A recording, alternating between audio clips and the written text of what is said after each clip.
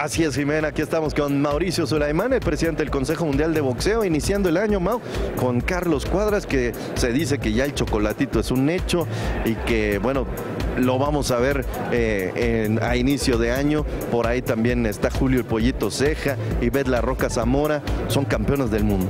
Sí, tenemos una, una gran expectativa que este año sea espectacular, que tenga mucha actividad los campeones del CMB, los mexicanos. Empezamos el año con grandes campeones. Carlos Cuadras eh, hará la mandatoria contra Sirsaquet. Ya está listo con el chocolatito también. Y pues yo estoy muy, muy contento de lo que va a ser el 2016. Hay otros grandes prospectos. Eh, México siempre ha sido una potencia en el boxeo mundial y ahora que hay tanta efervescencia de este deporte, hay muchos boxeadores que están cerca de llegar al título mundial.